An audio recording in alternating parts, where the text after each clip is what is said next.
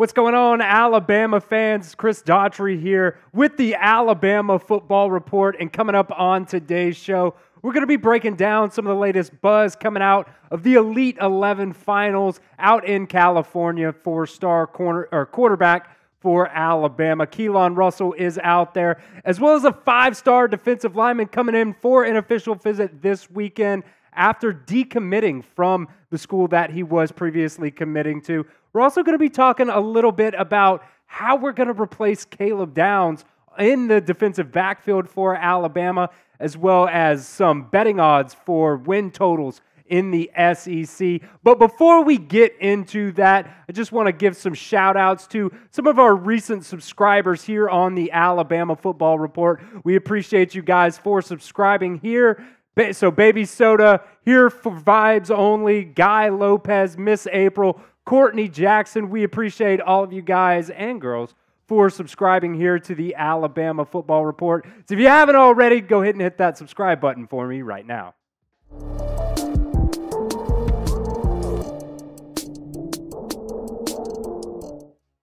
First up here on the show, we're going to be talking a little bit about the Elite 11 finals going on right now in Southern California. Alabama quarterback commit Keelon Russell is participating in those events, and I really like the Elite 11 finals. It gives these recruiting sites a chance to, you know, see all of these quarterbacks side by side, you know, give them a chance to be able to you know, compare and contrast some of the positives and negatives about their game. So, going into it, Charles Powers from On Three put out his top five quarterbacks from day one of the Elite 11 finals. Husan Longstreet, he's a four-star quarterback from or committed to Texas A&M. He was the day one MVP for Charles Powers. Tavien St. Or Tavien St. Clair, five-star quarterback uh, committed to Ohio State. He put him ranked number two. And then the Alabama commit, Keelon Russell, four-star. Uh, he had him ranked at number three. And then you have Notre Dame commit Deuce Knight at four. And then Tramell Jones, the Florida State commit, at five. This is what Charles Powers said about Keelon Russell in his day one showing. He said Keelon Russell showed a live arm and bouncy movement skills on day one of the Elite 11 finals. Russell's arm stacked up well against the group. He was able to generate velocity on his passes and drive the ball to the far hash with ease. The Duncanville High School signal caller consistently spun the ball well and displayed noticeable twitch throughout the workouts. Russell can continue improving the refinement in his drops as he mainly operates out of the shotgun at the high school level, but the movement skills uh, point to room for growth in that regard. Russell seems to get better and better over the course of the night and goes into day two with very positive momentum. Now, We've talked about Keelon Russell a lot. He is Alabama's quarterback commit here in the 2025 recruiting class. And these are his high school stats in the past two years. He led Duncanville High School to back to back state championship titles, and the kid has gotten better and better throughout the two seasons that he has played high school. In 2022, 15 games played. You see it right there 66, almost 67% completion percentage, about 23, just under 2,400 passing yards, 25 touchdowns, nine interceptions, and 203 rushing yards. And you can see in 2023, how much improvement he got. Uh, 72% completion percentage, almost 3,500 passing yards, 44 total touchdowns. It's just insane ratio compared to three interceptions. That's something that you really want in a quarterback commit. Somebody, you know, who takes care of the ball and is able to distribute it and you know, at the end of the day, he's, he's getting the ball in the receiver's hands, and that's what you want your quarterback to do. He's also been a threat on the ground, 361 yards. The kid is really fast, too. That's one of the big things that I like a lot about Keelon Russell, as well as the fact that he takes care of the football. So, right now, Keelon Russell is only a four star recruit in this 2025 recruiting class, but he is up there in the rankings in that five star territory. So, this is your chance to get in the comments right now. Let me know do you think Keelon Russell, by the time those final recruiting rankings come out around the December, January time, whenever it comes out, Do you think he's going to be a five star quarterback? Type Y for yes or N for no in the comments section. It is the pinned comment on today's video. So if that ad comes here on YouTube, that's fine. You don't want to watch it anyways. Just go ignore it, go down to the pinned comment and reply Y for yes or N for no. Five star defensive lineman Justus Terry has decommitted from USC and has almost immediately, one day later, set up an official visit with Alabama coming up uh, this weekend. This all breaking, I believe it was all yesterday, from Chad Simmons of On Three. And Justus Terry, just an elite name. I know a lot of people, especially in the comment section, have been asking about this defensive line class. You know, Alabama's only got two defensive linemen in this class in Antonio Coleman and um, London Simmons, and possibly a third one here, maybe, who knows? You know, um, as soon as he decommitted, Chad's, uh, yeah, Chad Simmons of On Three already put in an official prediction for him to commit to Georgia because he was already committed to Georgia at one point. He was committed to Georgia from Georgia, the number two player in the state. Ended up flipping uh, to USC after his um, official visit to USC. Um, he so yeah, so he canceled. He was supposed to go to USC this weekend. Decided against it. Decided to cancel that visit and ended up uh, scheduling an official visit with Alabama. Like I said, a five-star recruit in this 2025 class, number seven overall the number two defensive lineman and the number two player from the state of Georgia from Manchester High School in Georgia.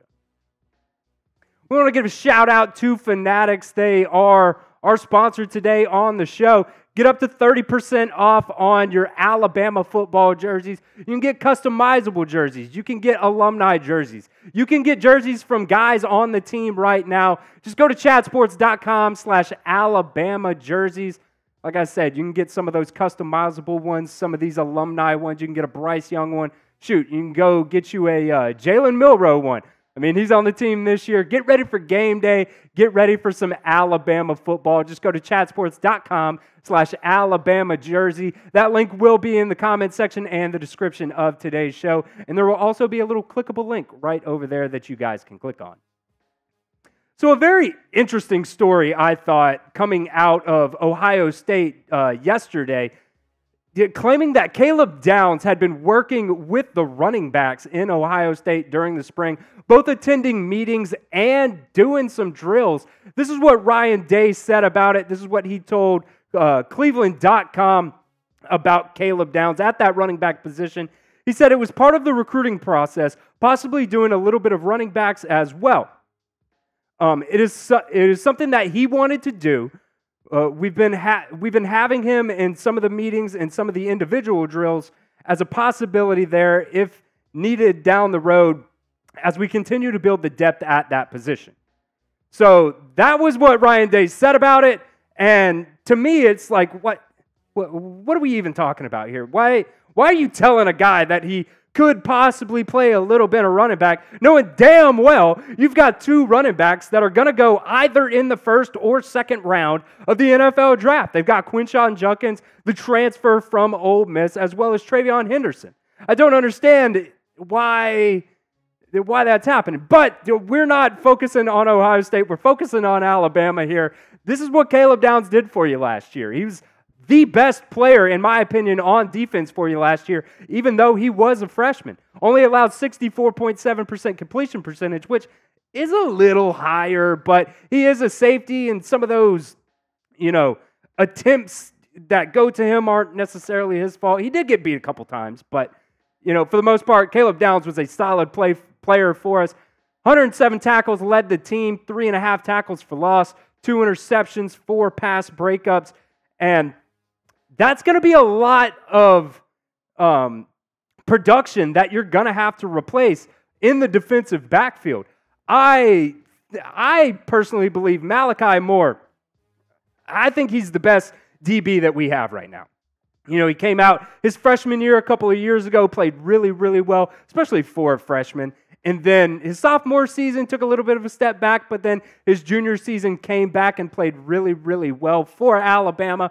He was at that nickel position, but I think that's going to translate well putting him back at that free safety position. I think between Malachi Moore and Keon Sabb, I think we're going to be fine back there at safety. I've got no problems at all with those two guys back there. I think they're going to be fine. My biggest concern mainly is going to be the cornerback position, but you know, that's just going to have to, you know, that's going to be a wait and see thing. Back to the safeties though, even if one of these two guys go down, I think you have some options. Bray Hubbard, I'm really excited about what he is as a player, and I'm really excited about his ability. You know, whether or not he gets to play this year, it's gonna gonna be up in the air if he can get on the field. But I think he is a solid player in the defensive backfield. And I also think you could take somebody like Red Morgan, who's been working at that Husky position behind Devonta Smith. And if need be, I have total faith that you can put him at that free safety position as well. But this, in my opinion, is going to be one of the biggest question marks for Alabama coming up in this 2024 season.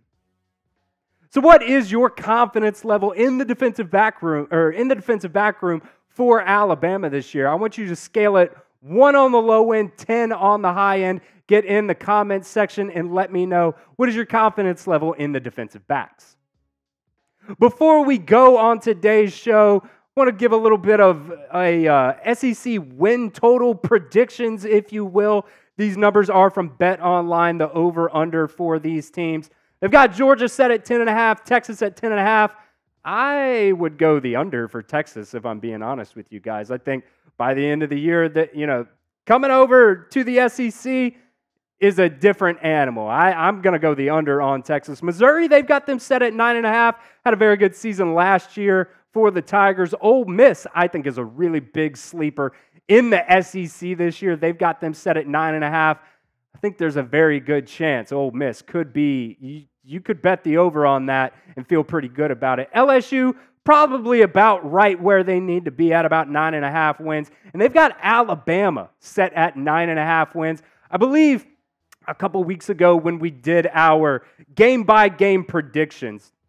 I had Alabama at 11 wins, I believe is what I had. So I would go with the over there for the Crimson Tide. Tennessee, they've got them set at nine. Texas A&M's at eight and a half. Oklahoma at seven and a half, and the Auburn Tigers also at seven and a half. The rest of the SEC, I just kind of left them out because at that point, who really cares? But I'll tell you guys what it is. Kentucky at six and a half, South Carolina at five and a half, Arkansas at four and a half, Florida at four and a half. I kind of think the over on Florida, to be honest. I, you know, I, uh, DJ Lagway is really, really good, and you know, I think that's good value for Florida. Picking the over there. Mississippi State also at four and a half, and then Vanderbilt all the way down at the bottom at two and a half. So Pick it for me right now in the comments section. What do you guys think for Alabama over or under nine and a half wins in this 2024 season? If you're putting money down on it, let me know what you would do. Type O for over or U for under right now in the comments section.